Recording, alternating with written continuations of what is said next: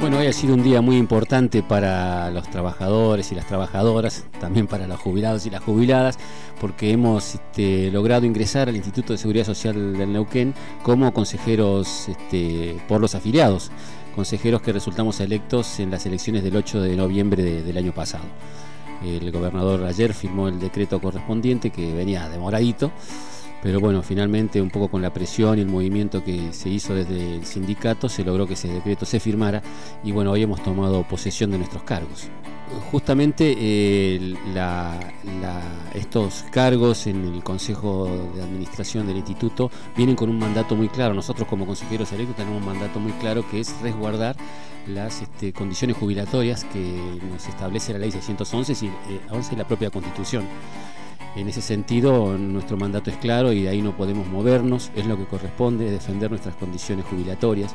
Y es también lo que se logró con la fuerza de todos los estatales a fines del año pasado, justamente el día de la elección, eh, logramos que la legislatura sacara la ley Cerrojo, la ley 3088, que es la que, bueno, convalida lo que dice la, la, Constitución y la Ley 611, es decir, no se deben modificar las condiciones jubilatorias de los trabajadores de la provincia.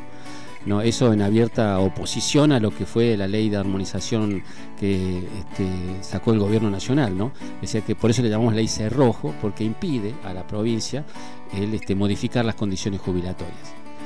Igualmente no es nuestra única función, eh, en, rigor tampoco las condiciones jubilatorias se, discuten en el instituto, eso se discute en la legislatura, ¿no? Pero mm, digo, nuestra, no es nuestra única función eh, trabajar sobre las eh, prestaciones jubilatorias, sino también sobre las prestaciones de la caja asistencial.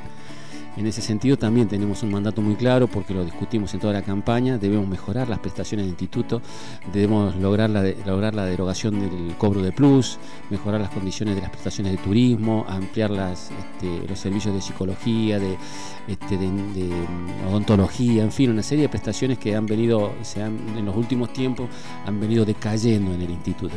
Así que bueno, eso es un poco las líneas generales de nuestro mandato.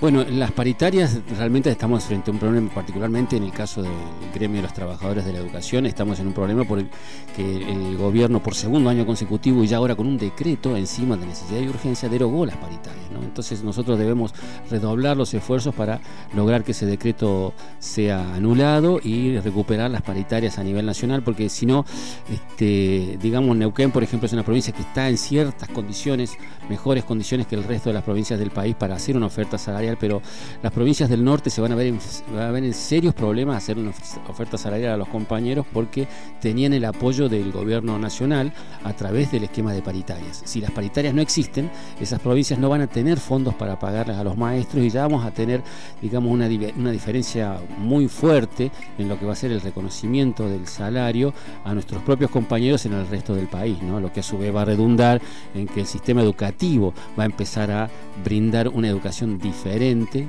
depende del lugar del país en el que estés. Eh, así que bueno, es necesario recuperar las paritarias, es necesario superar los techos salariales.